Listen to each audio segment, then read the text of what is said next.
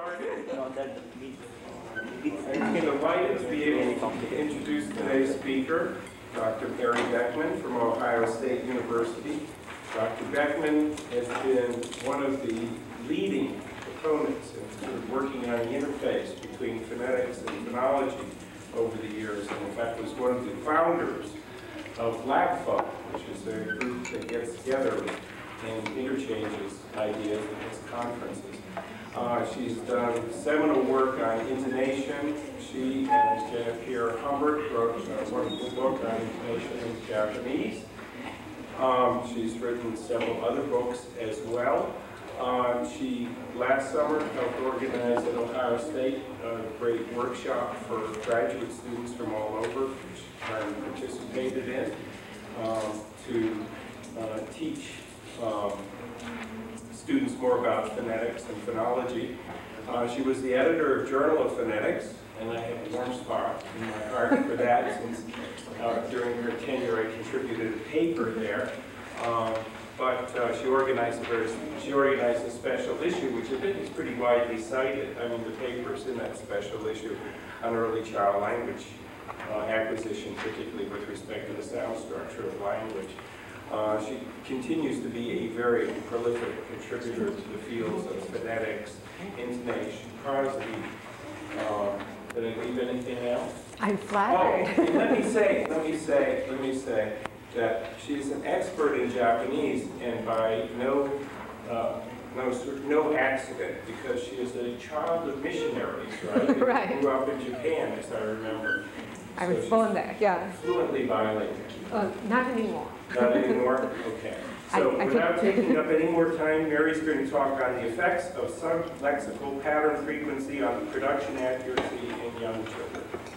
Thank you, Peter. Right, so uh, I'm going to be talking today about some work that I've been doing with uh, several people, uh, most prominently Jan Edwards, who's probably the person I've been collaborating with the longest. I've been collaborating with Jan for nearly two decades now. The um, uh, question that we've been uh, asking ourselves recently is where do phonological constructs, things like phonemes, syllables, stress patterns, where do they come from? And the hypothesis that we've been gradually coming to as a good working hypothesis is that they, they develop these phonological constructs, they develop representations of these phonological constructs based in part on generalizations over patterns in the lexicon. Uh, so what I'm going to do today is I'm going to, first of all, very quickly review a little bit of the prior literature that suggested this hypothesis to us and also suggested ways to test it. And then I'm going to uh, talk about two studies, one that we've just submitted to JCL and one that we're um, uh, still in the progress of uh, last stages of analyzing the results of. And then I'll summarize and uh, relate the results to this larger question that we're starting from. Okay, so the evidence in the literature that suggested this hypothesis to us comes from two ends of the, the process. Uh, infants, before they've started to produce their uh, first words, or when they've just started to first, produce their first words, and adults. Uh, if we look at uh, infants, what we see is that uh, there's a lot of work showing an influence of the ambient lexicon on babbling.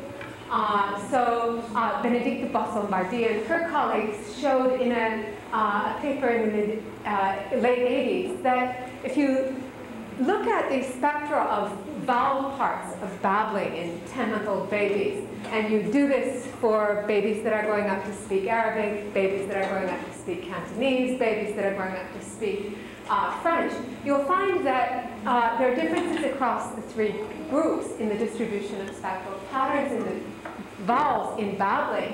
And those differences reflect the vowel spaces, the frequencies with which different vowels are exemplified in the lexicons of those three ambient languages. Uh, similarly, uh, de Boysson-Bardies and Marilyn Vihman in a um, uh, paper somewhat after that looked at somewhat older infants, infants uh, that had just started to produce their first words, and uh, looked at uh, the frequencies of different consonants in these first words, but also in the concurrent babbling. Children don't stop babbling when they start talking. Uh, right away. And so they looked at the consonants in the nonsense, the babbling that was going on at that time, and found that uh, the frequencies of different consonant types reflected the frequencies of those types in the ambient language. So uh, uh, children who are acquiring French still continue to produce many more labials than they do dentals and velars because labials are more frequent in French. Children who are acquiring uh, English and uh, Swedish, on the other hand, uh, stop producing so many labials in their babbles, start producing more dentals. Dentals are more frequent than labials in uh, Swedish and English. Okay, so the question that uh, we want to ask is, does this influence of phoneme frequency continue to affect productions at later stages, after the kid has acquired more than 50 words and the vocabulary has started to uh, expand uh, quite rapidly.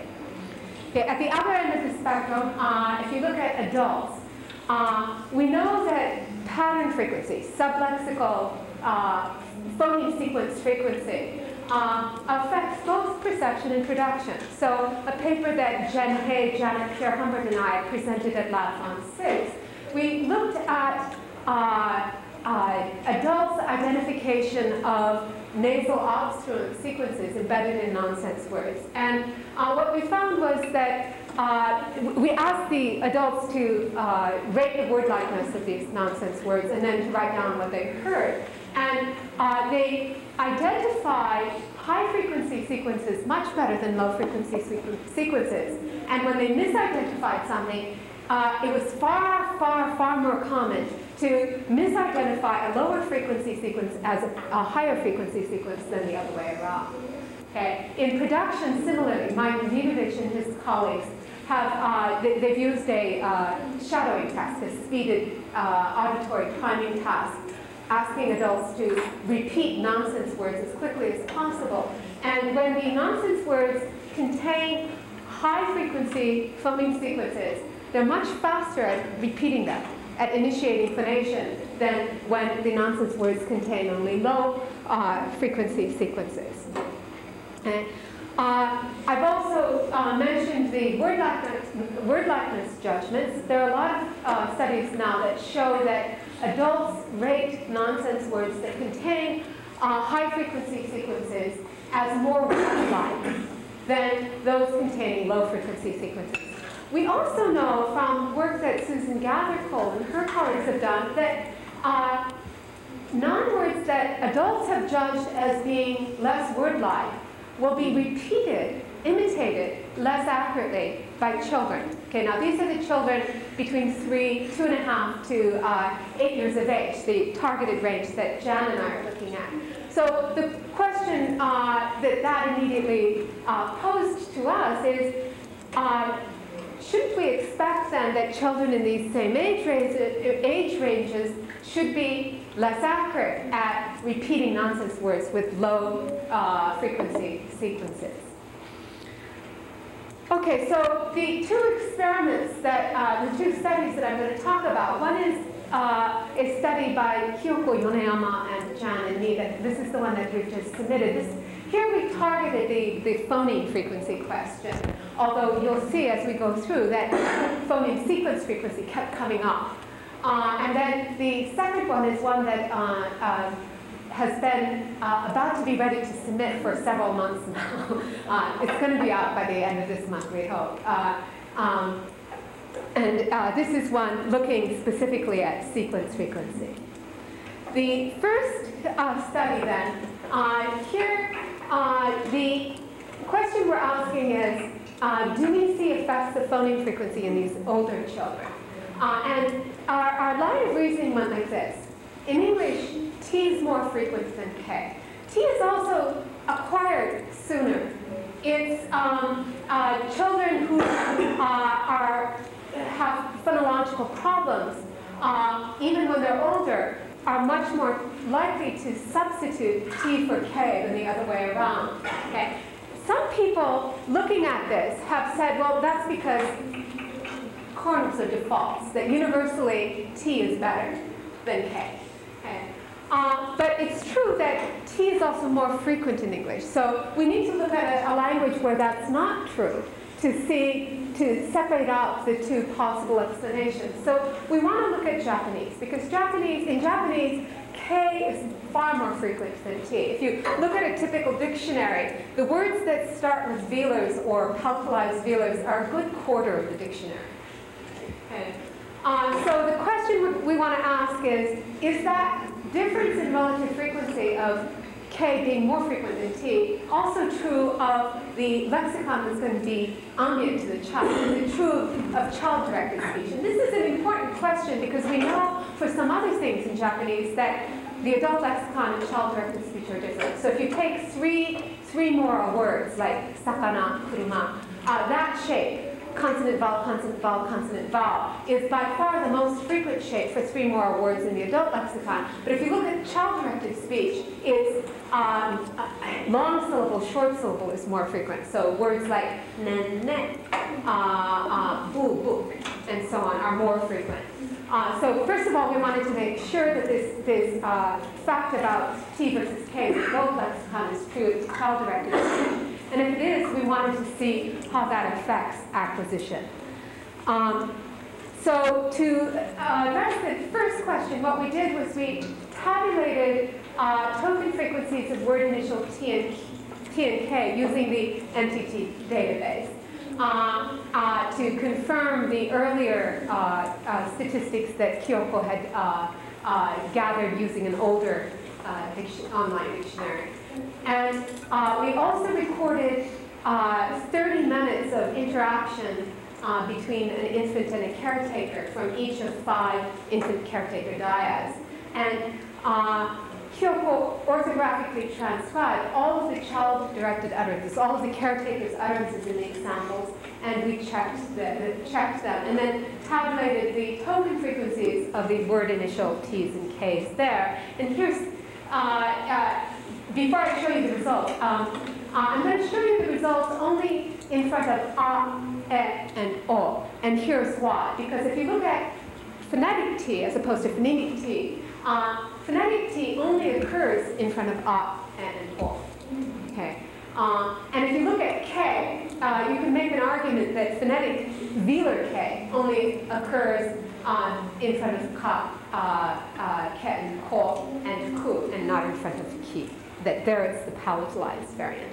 So looking at T and K only before vowels where phonetic T can occur, here are the statistics we found. In the adult lexicon, sure enough, uh, uh, T is, is much less frequent than K in front of A and in front of O, although not in front of E, which is the lowest frequency vowel in Japanese. Uh, and in the uh, uh, uh Child-directed speech, that's also true. T is less frequent than K uh, in front of A and uh, O, but not in front of E. Okay, and the statistics about, you know, only uh, uh, four occurrences of E in the first syllable of words in, in all of these 30 times five minutes. okay, so then uh, to answer the second, address the second question, we uh, uh, recruited 47 children, ranging in age from a little bit uh, older than two years to a little bit older than five years. And uh, we presented them with 18 target words that had word initial T or K, followed by uh, the, the three vowels A, E, or O. And we elicited them using pictures. For example, T in front of O was Tora. Okay. Uh, K in front of O was Koala okay, koala, right? Um, and uh, uh, we elicited five repetitions uh, of each of these words and used only uh, repetitions where uh, two out of three transcribers, at least two out of three transcribers agreed, and the bursts weren't clipped because we want to do some spectral analysis of, of these. Uh, so for one of the kids, here are the uh, uh, four usable tokens of Tora. Tora, Tora, Tora, Tora. By this time, he's having kind of fun with the picture. So uh, two out of those four were transcribed as having uh, initial k, and two were transcribed as having initial uh, uh, t. Uh. Uh, so two out of the four were transcribed as having initial t as the target is, and two had initial k. Okay. Uh, looking at the results overall, here's the picture. We're plotting here for each of the children, from the youngest to the oldest, the uh, mean percent target T that were correctly pr produced uh, as being transcribed as T, uh, mean percent target K that were correctly produced as K by the trans, uh, transcriptions. And you can see that uh, the kids are acquiring these pretty quickly. Okay, so by, by three, all the kids have T and K. Um, uh, if you look at the younger kids, um, they get K sooner. So if, if they have a difference, they're better at K. They're more accurate at K than T. So the opposite of the pattern in English. Okay. Uh, looking more closely at the errors, um, remember that in English, the most common error pattern is uh, uh, T substituting for K. The opposite, K substituting for T, as we saw and heard in two of those uh, tokens of Tora, is very rare in English.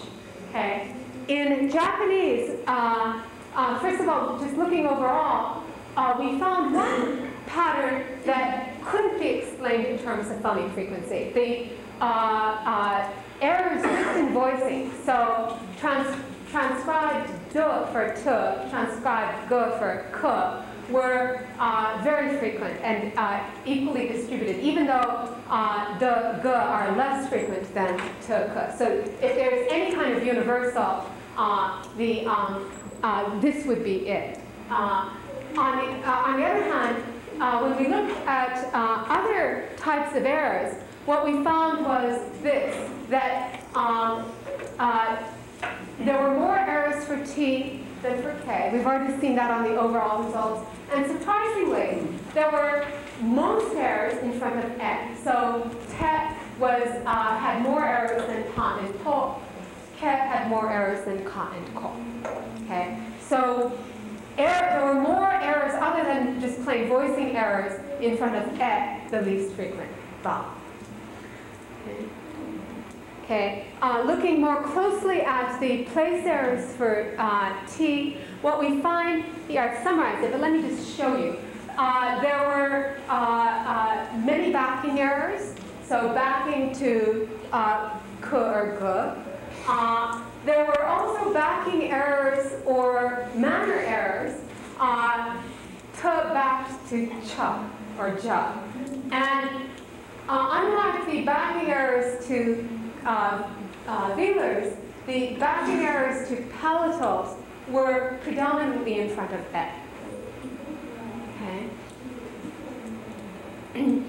Uh, for uh, K, uh, there were fronting errors. Fronting errors predominated, unlike in English, and uh, uh, just as in English. But what's interesting is that most of the errors were in front of et and many of these errors were, as many of these errors were errors of k being substituted by ch or ja rather than ta or da.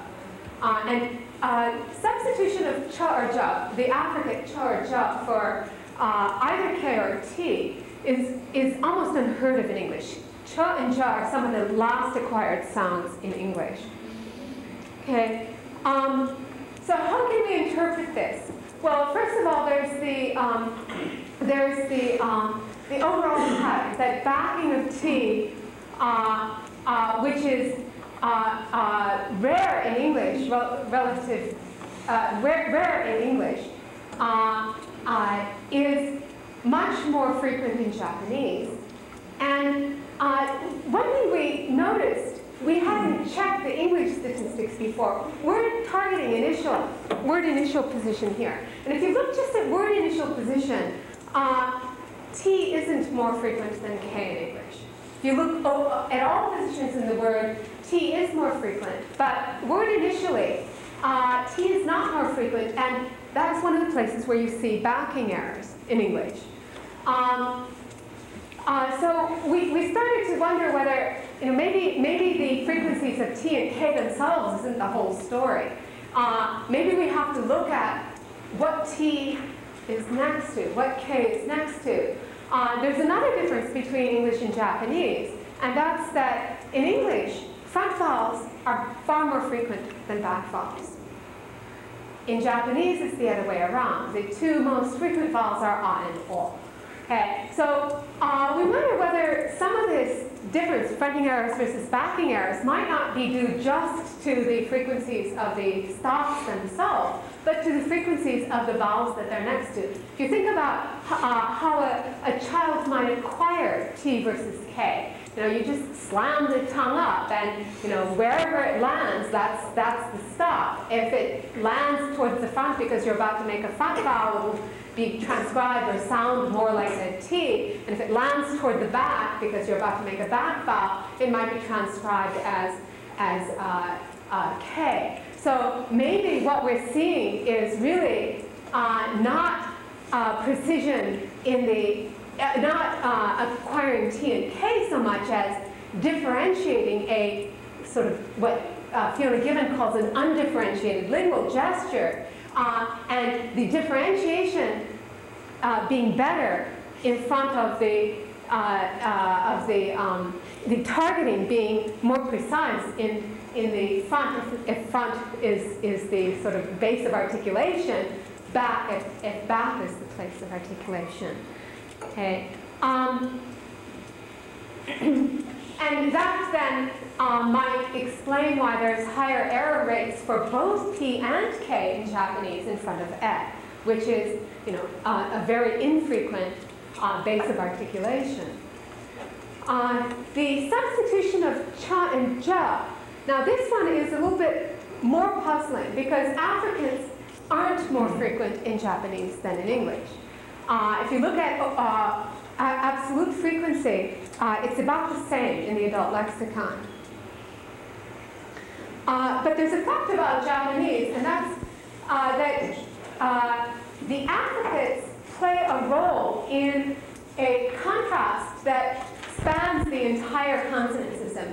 Uh, all obstruents, labial, coronal, and dorsal, uh, practically all of them, uh, have plain and palatalized or plain and palatal counterparts. So there's a pa-pya contrast, a ba-bya contrast, uh, a na-mya contrast, uh, and so on. And the affricates in this system are the palatalized dentals.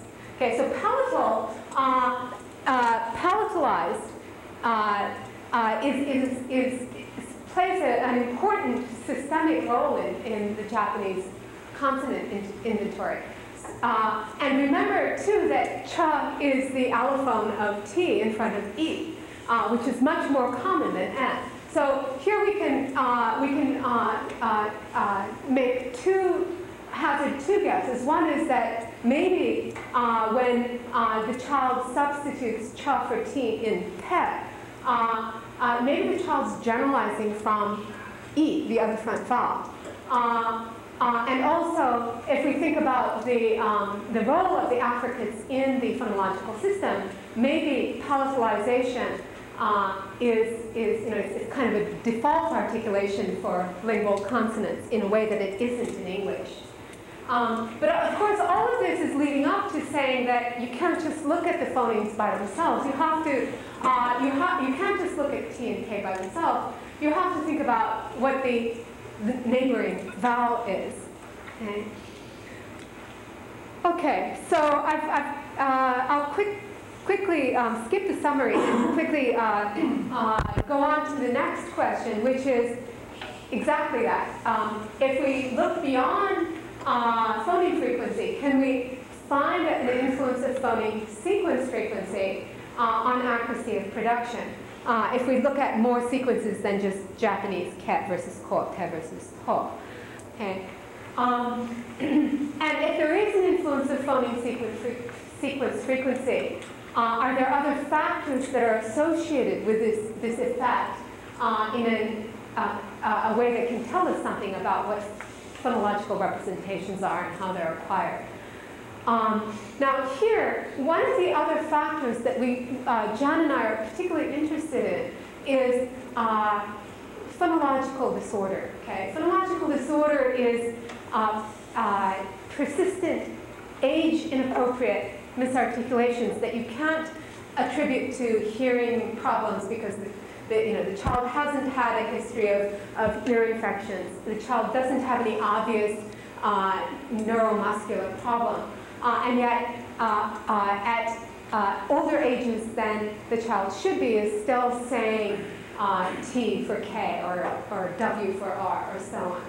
Okay, and in a pilot experiment um, that Peter's actually seen already, this is our LabPhon 5 paper, um, we uh, looked at this by, uh, we, we took a handful of nonsense word pairs where uh, we matched a high frequency sequence like FT uh, with a low frequency sequence like FK, embedding these in nonsense words, and had children imitate them. And then we had a really gross uh, uh, measure of, accuracy. We just said, was it right or wrong? So two phonemes in the sequence, uh, either one, both could be right, one could be right or neither. Uh, and even with this gross, uh, gross uh, measure.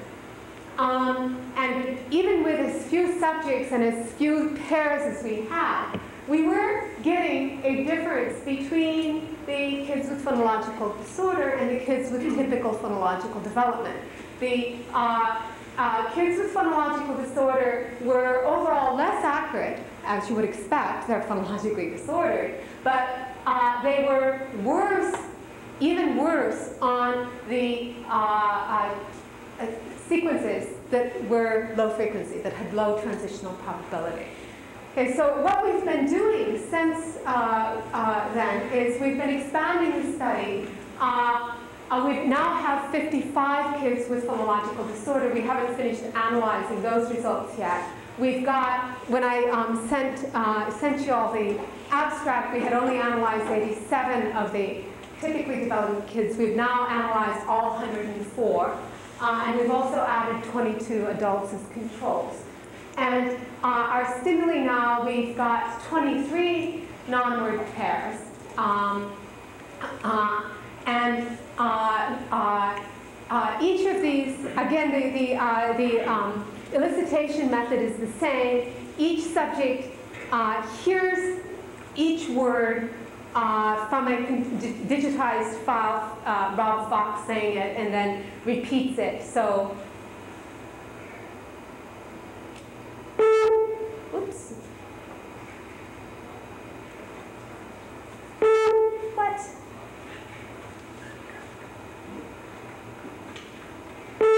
Oh dear.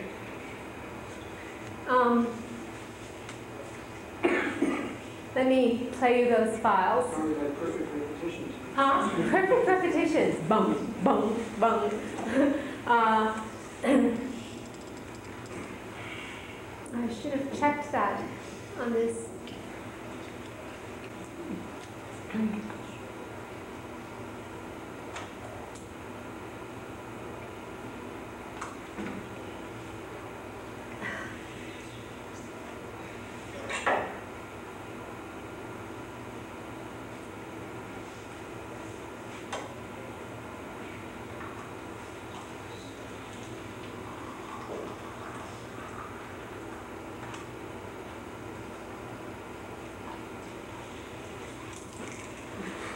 Bear with me, sorry. Floggo, Hongo, floggo, hongo, like that, okay. Um, uh, the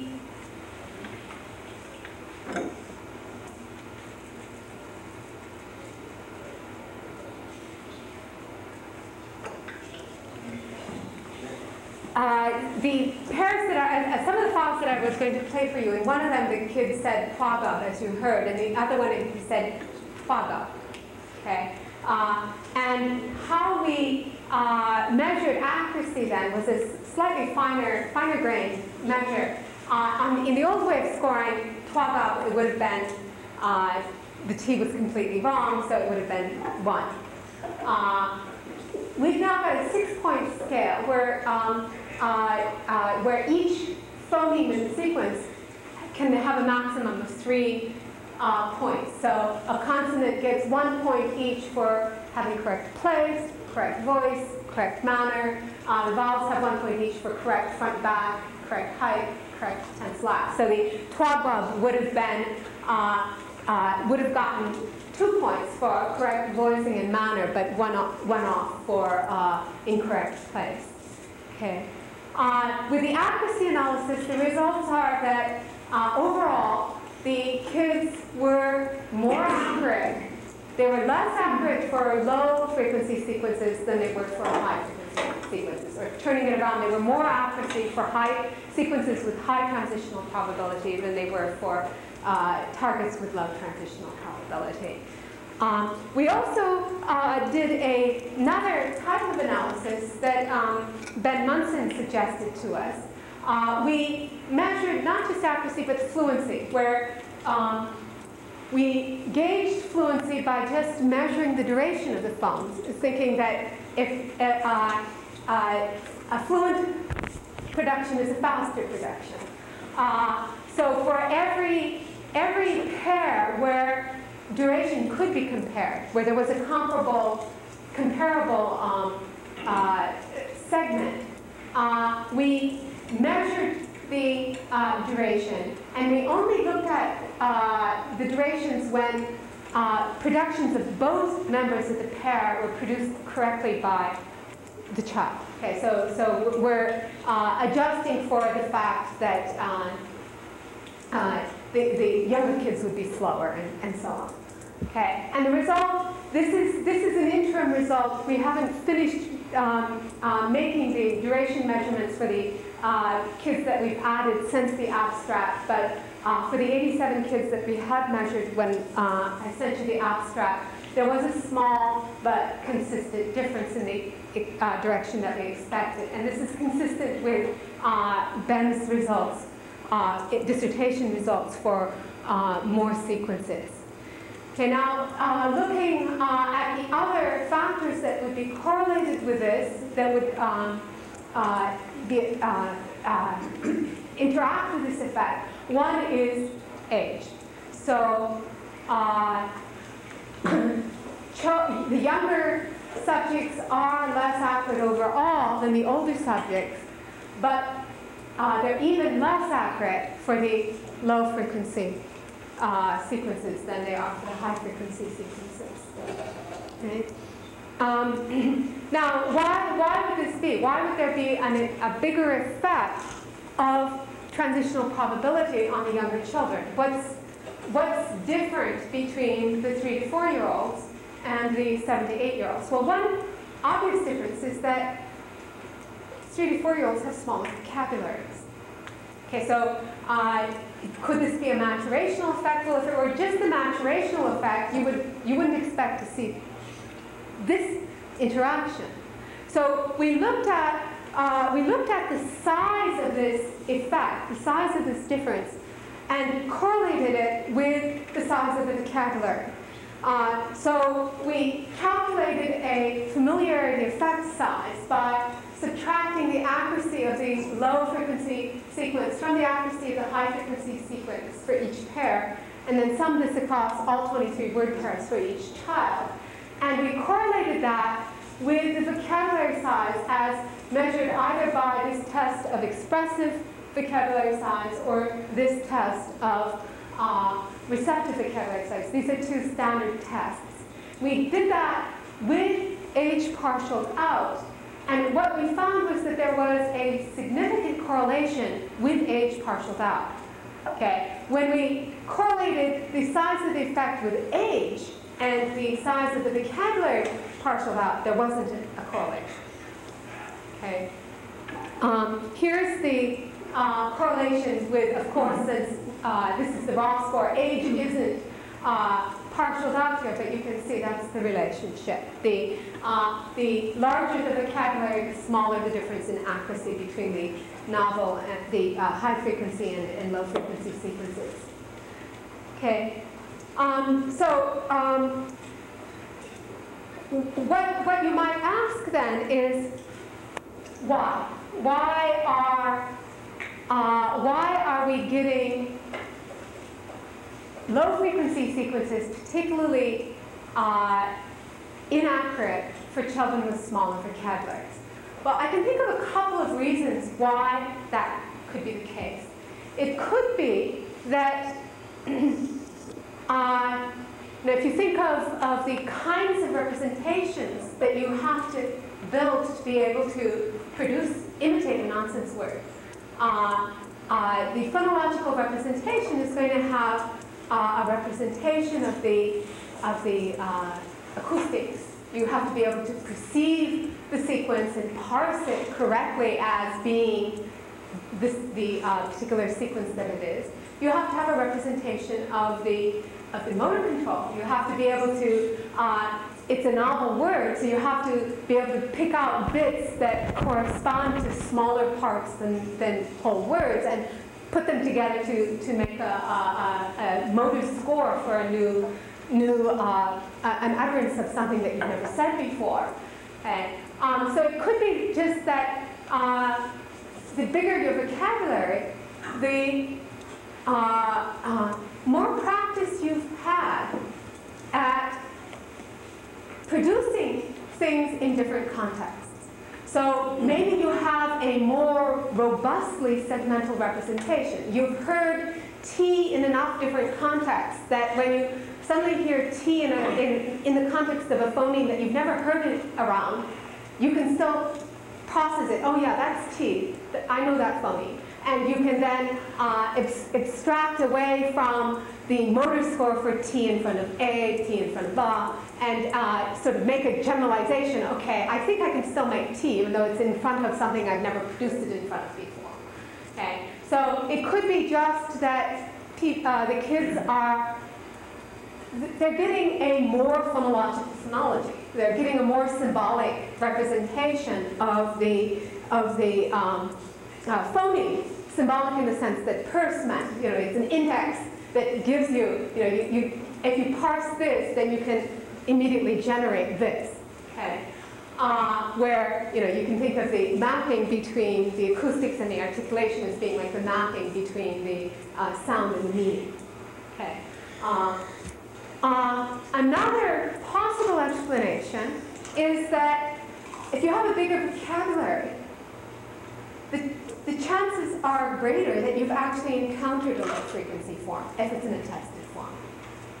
Okay, so it could be that if your vocabulary is bigger, you just have a better, better grasp of the phonotactic. So it could be a higher order generalization that, uh, that uh, uh, whenever I think about this explanation, I, I, I, remember a story that Jan told me from a uh, work that she was doing with Peg Lahey on specifically language impaired children. One of the tasks was uh, lexical decision. Is this, a, is this form that you've just heard, is that a word or isn't it a word? And one six-year-old kept saying, well, it's not a word I know.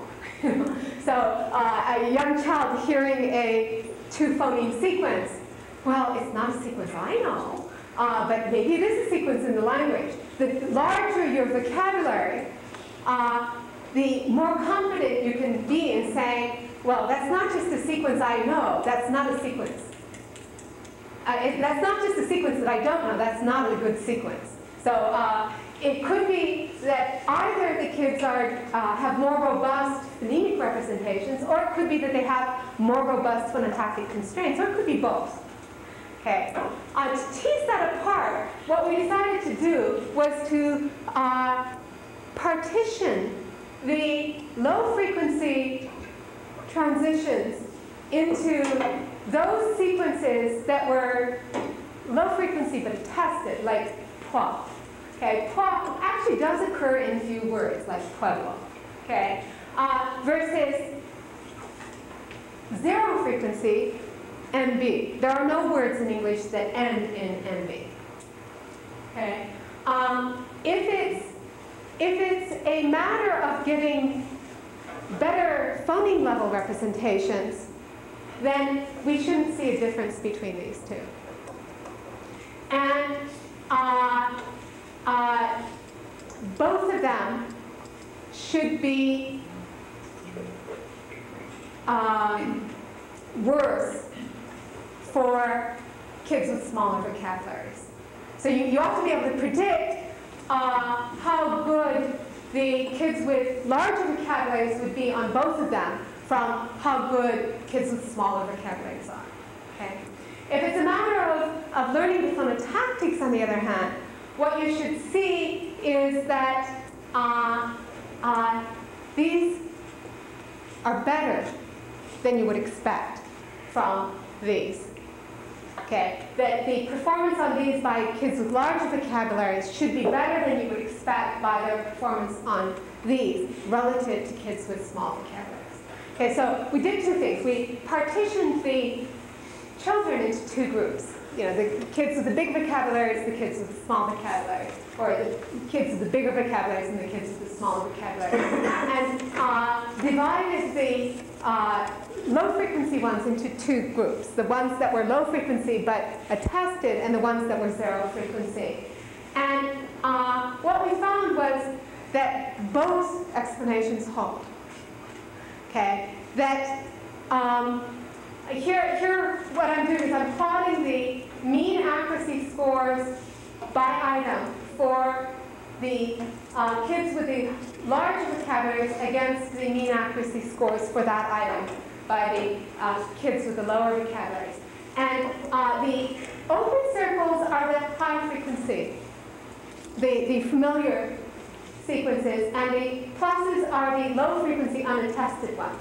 Okay, and you can see that these are, uh, are pretty much parallel. These, these are really the same function, with the low frequency attested ones being down here, the uh, high frequency ones being up there. So the, um, the, uh, and, and the, uh, they're converging on x equals y, but uh, the kids with higher vocabularies are better. They're, they're above this x equals y line. So they're better than you, than, um, than uh, uh, uh, they're better on the unattested ones than you would expect from the accuracy of the low, of the low vocabulary kids.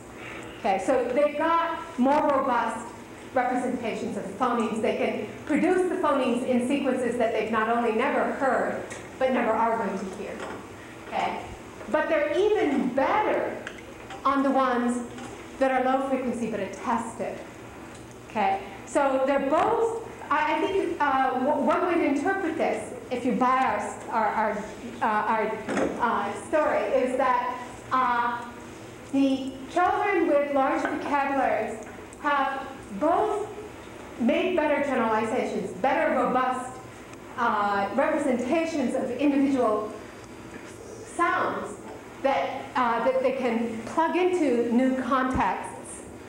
and they've made better phonotactic generalizations. okay, so uh, with this study, um, uh, summarizing our results, we've seen that uh, phoneme sequence frequency uh, influences production accuracy and fluency, and that vocabulary size mediates this effect. Children with smaller vocabularies are generally less accurate, but they're uh, even less accurate for sequences with low transitional probabilities. Um, uh, also, the children with the smallest vocabularies, for, the, for these children, accuracy on the unattested sequences looks just like accuracy on the attested but low frequency sequences, but the children with the largest vocabularies do markedly better on that. So um, uh, we've shown in these two things, uh, studies then that uh, there's an influence uh, of phoneme frequency on acquisition and on the error uh, patterns in production. There's an influence of phoneme sequence, uh, sequence frequency and that this effect is mediated by vocabulary growth. So knowledge of phonotactic regularities, uh, one of the results is that knowledge of phonotactic regularities looks probabilistic. And the theoretical implications then are, uh, I think this supports our, our working hypothesis that children develop phonological representations by generalizing over the patterns that they, they that they uh, encounter in the lexicon. And uh, this matches well with a view of grammar as being not really, you know, here's the grammar, here's the representations, here's the grammar, here's the lexicon, but rather the grammar is representation of generalizations in the lexicon. It's an emergent property of the history of interactions between the language user and the language events in the world. Uh, uh, or turning it around and, and, thinking about it just in terms of uh, that uh, psychologists might want to think about it, uh, we don't want to make a distinction between, well, here's competence, that's what we're looking at. Performance is what those other guys over in psychology look at. Rather, phonological knowledge, competence, is just the synoptic memory, uh, the enc encoding in rep long-term representations uh, of knowledge that's extrapolated from experience with processing, with performing acts of speech production and perception day in and day out. Thanks.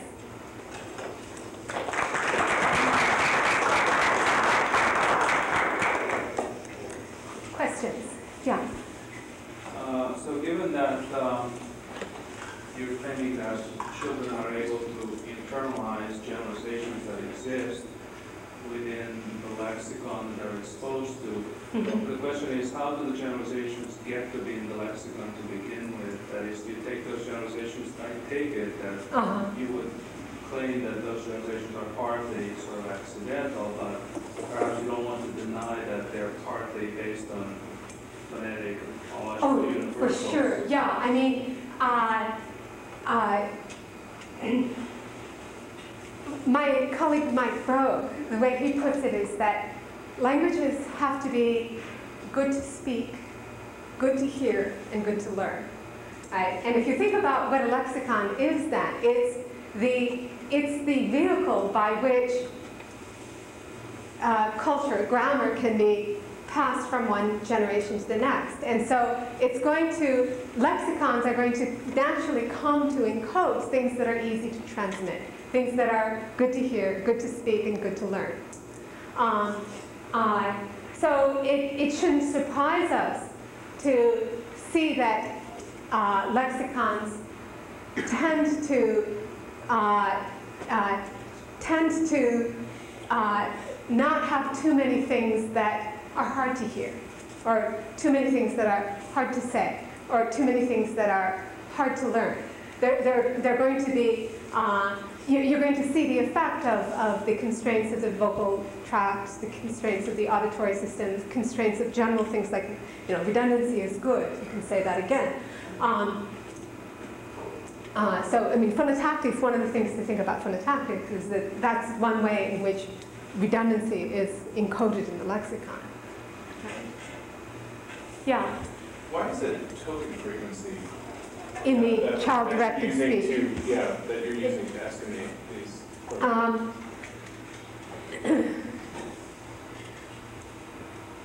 it was partly uh, a methodological issue, the, the, difficulty of deciding what's a word type in Japanese. It, uh, Japanese has a much deeper morphology than English.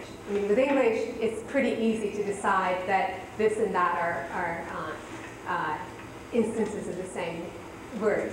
Uh, uh with uh, Japanese, uh, okay, so if we take all tokens, no matter what the inflection of a verb, then, um, then um, we start getting into alternations that mimic some of the, some of the substitutions that the kids make. Okay, and if we, once we do that, then we don't really have a good way of comparing to the adult lexicon where we don't have the inflected forms in the, in the lexicon, in the dictionary. Yeah.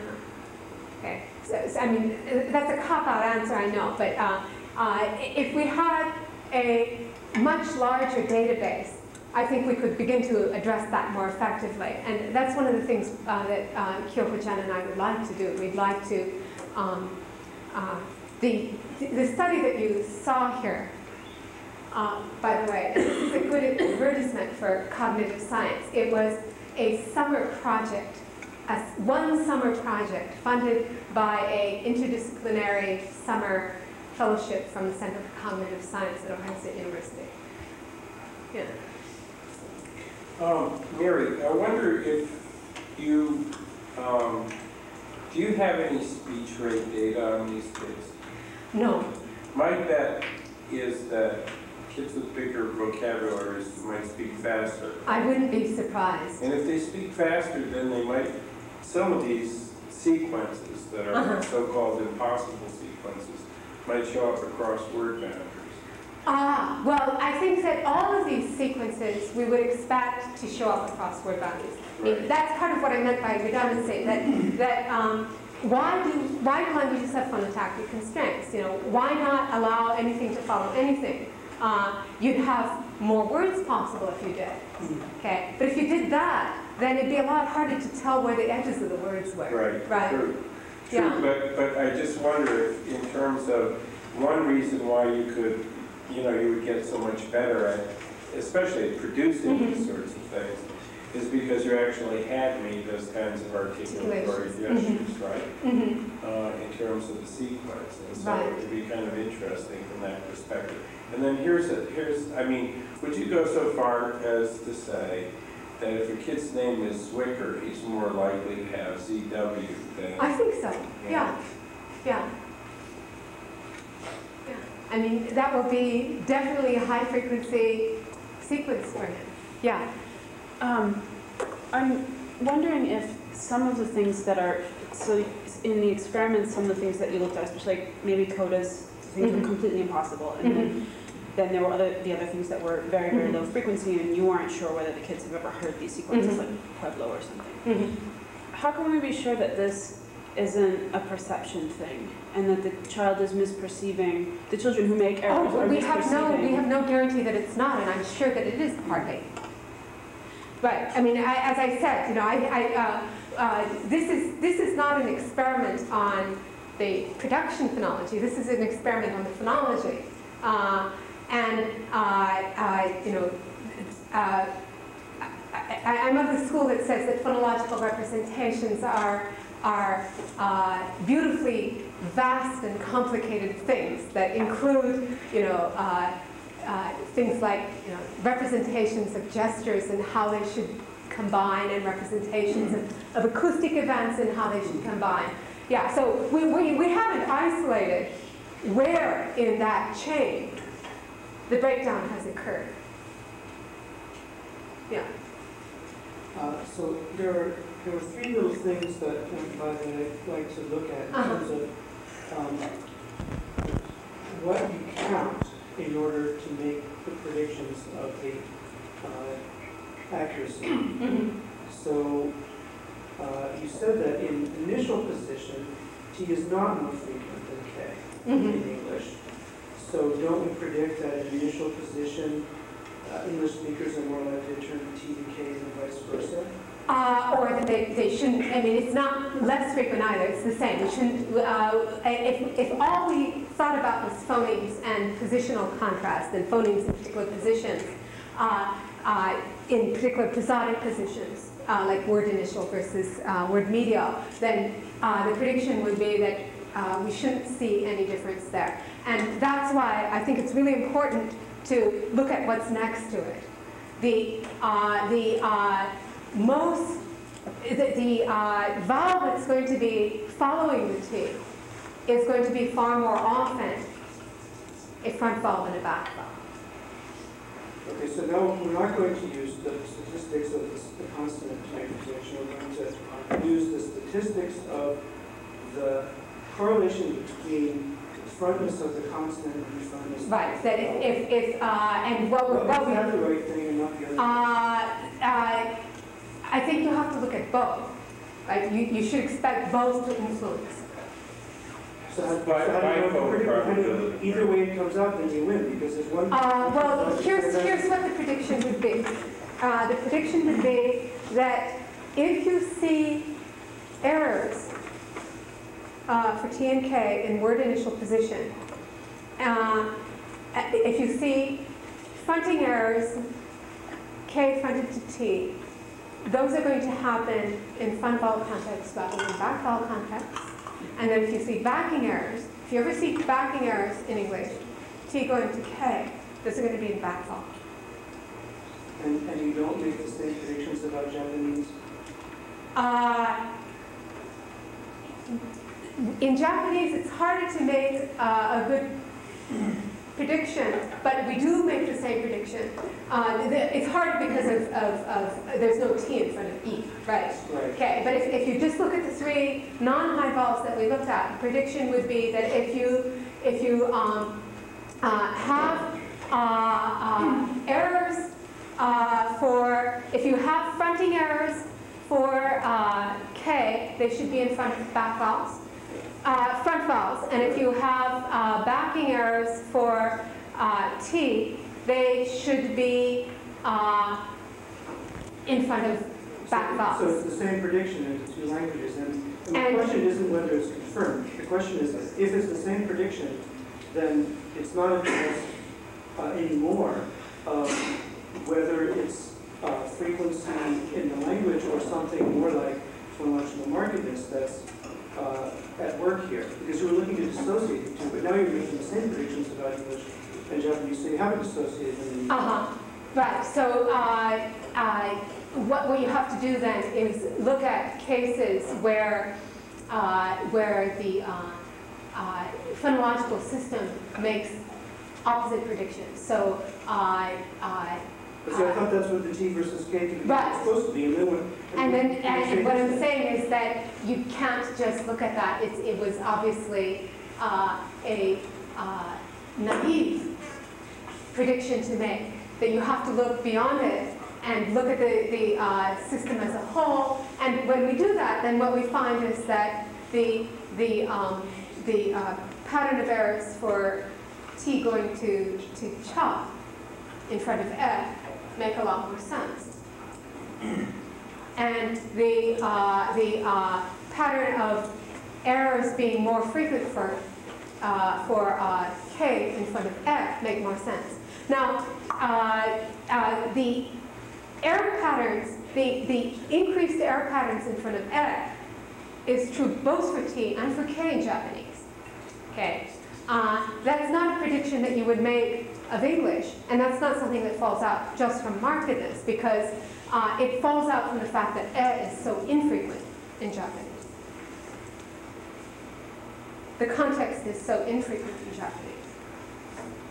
Well, that way of counting the context, it's infrequent, but, you know, if it doesn't work out that way, you can find some other way of counting the context, and we're just not so infrequent anymore. Like, oh, so then you start talking about, you know, front vowels or mid vowels instead of talking about. It- Here's another case where there was an issue for me about what, what was getting counted. So you said twa and versus, twa versus u, right? and you observe different behavior on those two clusters for uh, kids with larger vocabularies particularly. Um, Well, what's the difference between those two? So uh, it presumably it's not because they've heard Pueblo or Puissance. That's probably not the reason, right? I don't know. Uh, an eight-year-old might have heard Pueblo. I don't mind that for a second. I think that's an empirical question. Uh, I mean, Okay, well, play along with me. Uh, Suppose yeah. it turns out that when you, when you do a test of this um, in, in the southwest, you'll see a lot more pua, uh, and you'll still be left wondering why in parts of the country. but that's you never token hear frequency. That's token frequency, not type frequency. And I think that's, that, that distinction between token frequency and type frequency is important. What about the word I am? I am? I am. How do you know they haven't heard the word I am? Oh, so you have a B in that. I do. Maybe they've been listening to me. Uh-huh. Okay, they still would have just one token, a type of it. Well, there's Pueblo, that's one type. Uh-huh. So what's the difference? Okay, so uh, then we'd have to uh, uh, for children who've been listening to you and you uh, have been uh, uh, systematically making sure that they don't do a section in uh, second grade on Pueblo Indians, then yeah, we would make that prediction. For watching old Pink Panther. Uh-huh. Well, Uh, But, but I, I think, you know, that the, uh, the, um, But there's, I think there's a much more reasonable prediction to make, isn't there? That uh, whatever it is about MB that makes it worse than PW in English is a fact about, is a fact about the types of segments those are and not the individual segments. okay, to test that, we'd have to look across languages, right? I thought that's what we were trying to do in the beginning, so I'm really looking for a way to tease apart. Uh, That's what we did in the beginning, and we came up with the conclusion that uh, you you have to look not just at phoneme frequency, but also at phoneme sequence frequency. That, uh, that uh, uh, uh, a word is not just a collocation of, of- it is not just a, uh, uh, uh, a random set of phonemes, uh, that there are also phonotactic constraints. That the kid is, you know, the kid isn't just learning B. The kid is learning B in this context, B in that context, and after getting it out of all the contexts, B is a better B. Right? Yeah. How do these line up with, now, I, I can't recall this, and I know the kids are, are younger, but MacNeilage and Davis have arguments about which sequences, especially vowel consonant, Right, consonant sequences are likely to show up right, in babble. right, right, yeah. And those don't seem to be, those don't seem to follow, as my recollection is, they're not, they're not like fronted because it's a front vowel, or back because it's a back vowel. Uh, There's, there's a kind. It, it is though, it is, because uh, what they say is that uh, uh, it- the crisscrosses with the labials. Okay, so they're, they're saying that with, uh, uh, uh, with um, uh, E and U, you would expect T and Ku. Okay, and it's only with the low vowels that uh, you would expect, you would expect Pa, T, and Ku. Right, that the, uh, with, with uh, labials, uh, the tongue is down and so the lips contact first in the upswing of the jaw. Uh, uh, uh, when you, the kid raises the tongue, if the, if the tongue is postured front to make a, a front vowel for the syllable, then it'll be contacting in the front region if, it, if, if it's back. So what we really need to do to sort out that markedness uh, uh, is find a language where either K is more frequent than T, but front vowels are more frequent than back vowels, or a language where uh, T is more frequent than K, but back vowels are more frequent than front vowels. Or a language that doesn't have T, but nonetheless has E, like maybe Y or something. Uh-huh. And to and see what what the K's look like. Yeah, yeah, because the one in my presentation. Right, right. Oh. Any other questions? Thank you.